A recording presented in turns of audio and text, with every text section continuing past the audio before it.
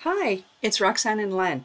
We are a Canadian couple who have been traveling through Mexico for the past month, and today we're excited to be able to go to the Monarch Butterfly Sanctuary in Mexico, and we are excited to bring you along with us.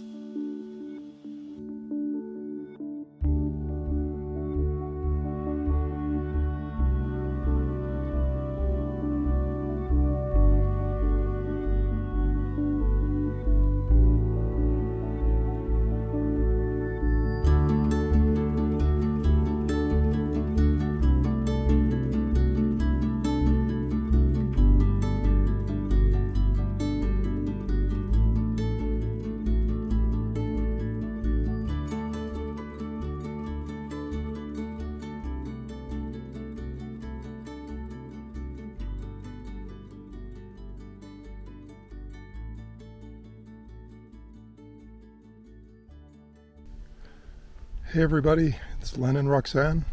Just checking in for this video. We are um, at the Monarch Butterfly Biosphere uh, Sanctuary. Uh, we've come part of the way up the trail. We've walked about 20 minutes up. We're just in front of one of the sanctuary signs. Um, we've got probably another 25 minutes of walking till we're at the top. um, beautiful day, nice and cool. We're walking through some beautiful forest here. I'm gonna flip the cam or I'm gonna flip the camera so you can see the sign and some of the scenery here. Here's one of our, uh, our greeting signs to keep us along the trail. And you can see to the left there, there's a lookout viewpoint we're going to look at that on the way back down instead of on the way up. And to our right is the sanctuary. And this is just some of the scenery. You can see way back in the distance there, there's people riding horses.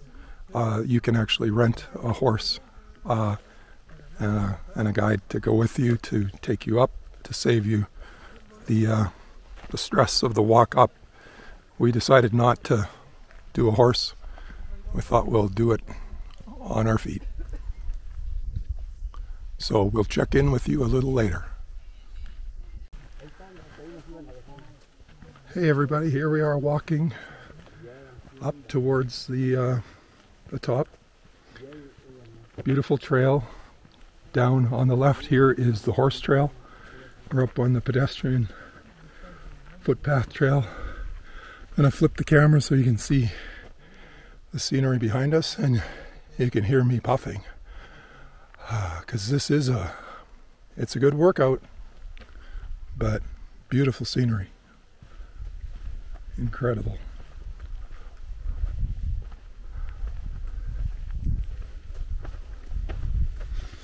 As you can see there's lots of people here to see butterflies today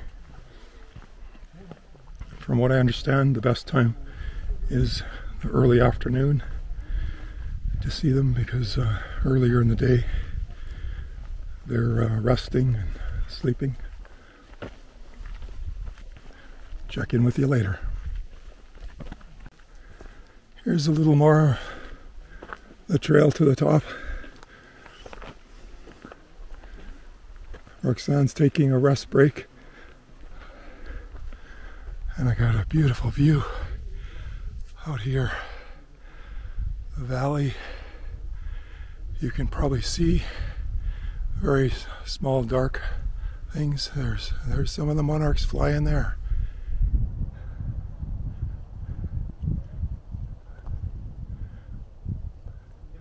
Maybe I'll get lucky and one will come close here.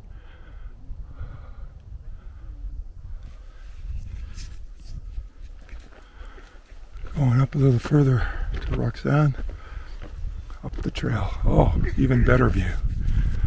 Here's the view I'm looking at. There's a nice sized flock there.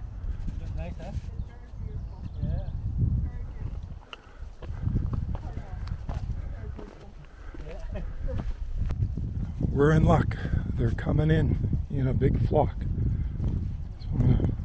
Make my way down, hopefully without falling.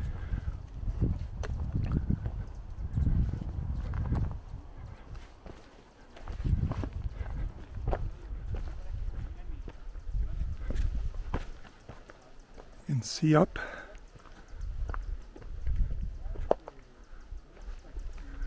I'm going to turn the camera off while I climb these rocks.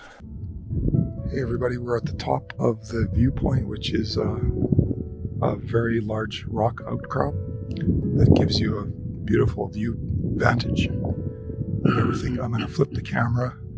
I've got it zoomed as much as possible, but we're surrounded by, I would say, probably thousands of butterflies.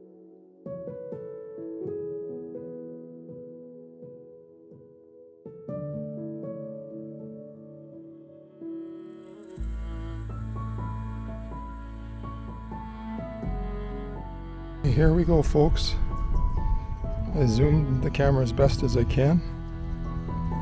There's thousands of butterflies flying around us. I'm just going to pan and let you see as much as I can.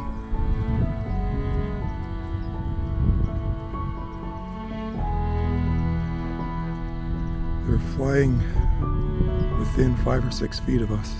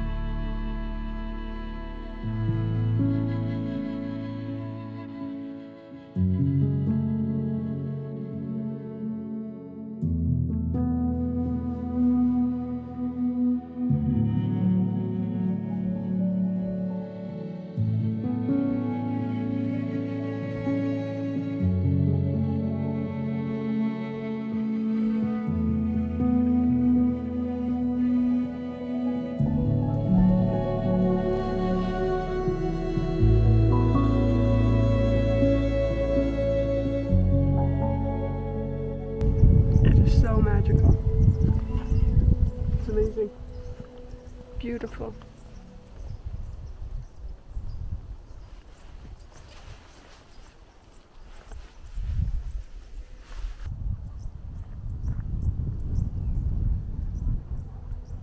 I wish this video could show how beautiful this all is.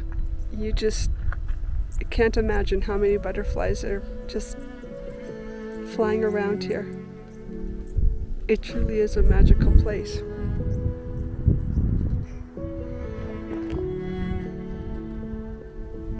And look at those views. I'd migrate here too.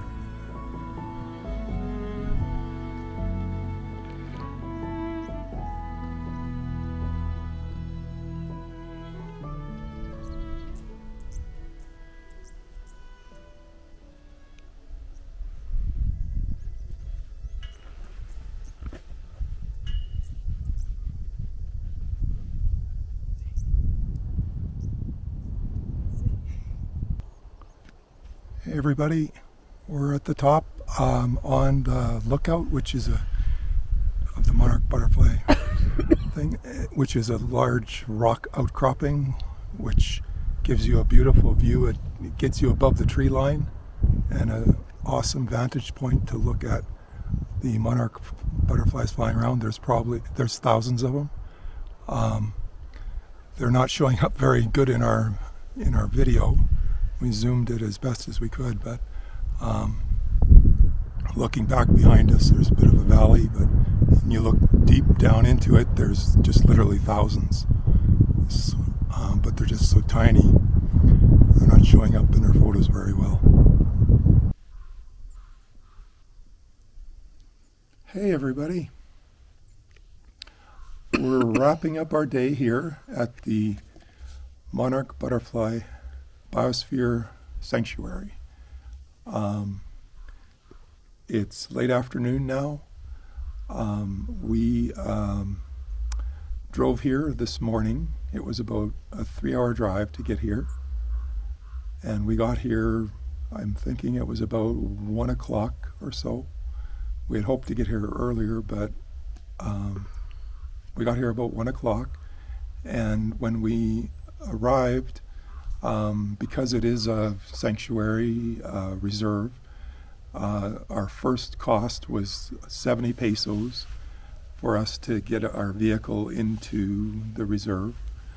And then, uh, after we came and parked in our spot, to actually come into the the reserve, uh, it was 80 pesos for an adult. So we paid 160 pesos for the two of us to come in, and that ticket would have included, if it had been open, the cultural center, which um, would be like a little uh, displays and information about the monarch butterfly and their life cycle and migration and, and all that. But that was not open today, so we didn't get to see that.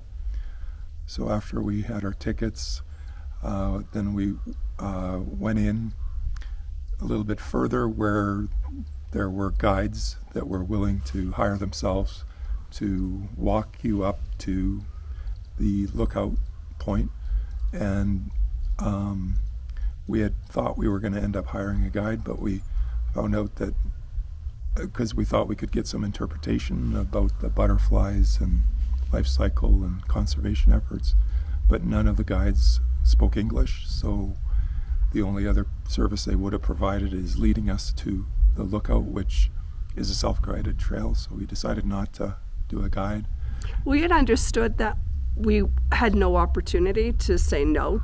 We, it was a requirement that you needed to have a guide. So we were a bit surprised when they said no to go. We can go on our own.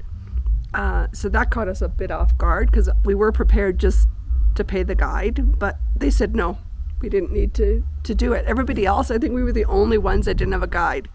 So I'm not sure what we missed out. We followed the trail like everybody else, but didn't have a guide. So well, if we had been spoke Spanish, we could have probably gotten a lot of really good information about monarch butterflies and yeah some some of the guides seemed to be speaking a lot more with their people that they were guiding and giving them some information and other guides didn't speak at all they just would sort of point to where to go and there was no communication. So it was sort of i think a hit and miss of of who you got as a guide but we didn't have a guide and we did just fine.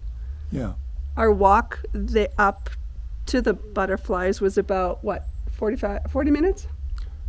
Yeah. About 40 minutes and then a little bit less down.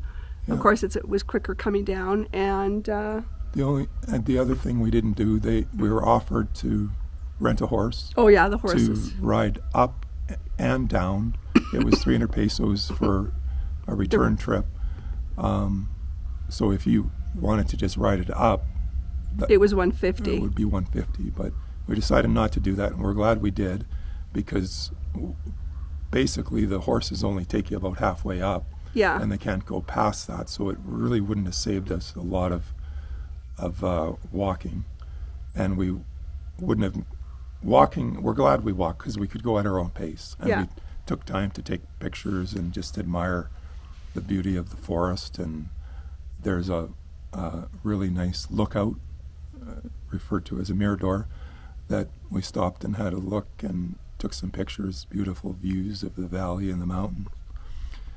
That's about halfway up, or two thirds of the way up the lookout. And then we continued on from there uh, up to the very top, which came upon us very, we didn't expect to come upon it that quickly. We thought it was a rest stop, but it turned out to be the actual top. And there was quite a few people uh, when we arrived at the top there. Um, so we took our time and waited till the kind of crowd dispersed. Um, Yeah, you can only have a few people on the rock structure at a time. It they were kind the guides were kind of monitoring that a little bit, uh, so they would take one group at a time onto it. It's not a very big space, and it could be dangerous if you got too many people up there. So Yeah. And people start doing silly things like stretching over the railing, taking selfies, and, you know. But um, so we waited it out because we weren't in any rush, and we're glad we did because once the crowd disappeared, um, the butterflies came flocking in.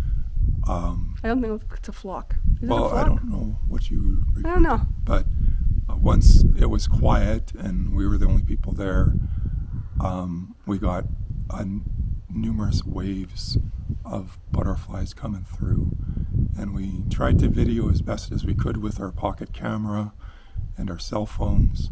I don't know how well that's going to show up, but it was There was so many butterflies. it was It was amazing. amazing and definitely a bucket list thing for us. Yeah. Uh, well worth our trip. yeah, We're so like- happy. It, it was just, it truly was awe inspiring. It was just an amazing thing to see. Now, we didn't, we came in later in the day. In the morning, if we would have come, the butterflies would have still been sort of chilling on the trees and stuff. and as the day got warmer, that's when the the butterflies got more active, and that's when we came. So we didn't see any butterflies on the trees. We saw them leaving the trees, but we didn't. You know, you see that massive amount of butterflies on the trees. We didn't see that. We just saw thousands and thousands of butterflies zipping by us, fluttering just all over the place. It was, it was so cool to Yeah. see. So And- cool. at one point, I was thinking, well, we've been here long enough, and I looked down and I thought, oh, oh I'm going to stay longer and watch this. This is Yeah. one. We're not coming back again. This is a once in a lifetime. Come to a UNESCO World Heritage Site. Um, we only get to see this once, and and it was truly it was So- so inexpensive really Yeah. like it was so inexpensive and so neat to see and do. Yeah, so i'm glad i'm glad we walked it and we didn't take the horse and i'm glad that we came out of our a little bit out of our way to do it. So it was Yeah. worth it. Yeah. so Um, but i think on that note we're probably wrapping up are we? Yeah, I would say if you are in Mexico and you're, you're anywhere close to it, it yeah. is plan a trip. Plan a trip. plan a trip It's it was almost well, it was it was very peaceful actually. there weren't Like- very many people here Um, i expected way more people and we specifically came on a weekday to avoid yeah the weekend rush, which, from what we understand, looking at the busy times, Friday, Saturday, Sundays, we're, are yeah are and we're busy we're here on a Thursday, and it's not very busy. And Yeah. it was nice just to have, the, at, at a number of points, we had the site like literally to ourselves. to herself yeah We could just sit there and watch, and the cool mountain breeze. yeah You could hear birds chirping, just watching these incredible, delicate creatures, miracle of nature that fly all the way from Canada. all the way from Canada to Mexico, like Amazing. Uh, fly as far or farther than any airliner, and they navigate their way. Um, just an amazing sight. So if you're coming to Mexico, plan a trip here. But I think on that note, we're going to wrap up because we have to find food and a place to spend the night because we don't know where we're spending the night. And another note, if if you are traveling here, um, for some reason this site you have no internet. So yeah, there's no internet. if if you come here and you're counting on the internet, make sure you figure out everything you need to before you're actually here, because you won't have any internet. So on that note, see you guys. Catch you on the next one. Okay, Bye. bye.